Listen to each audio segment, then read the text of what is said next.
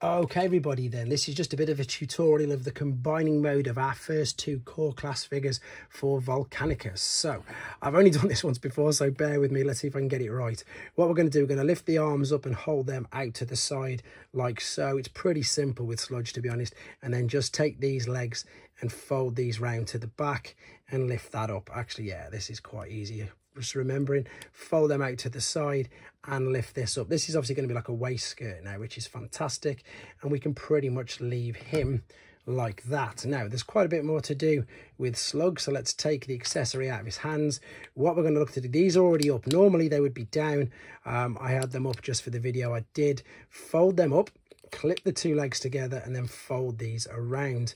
Keep the feet out of the way for now. Now what i like to do is i like to just bring this up and i just tuck this in there. It doesn't say anything about doing that in the instructions um, and it's not even a proper place but it just means that you know that it's going to fit where you want it to.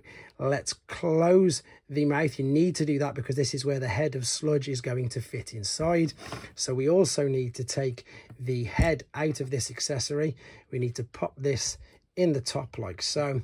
We then need to take this part and attach it there. This now gives us three ports and the head as a connector piece for this, which is brilliant.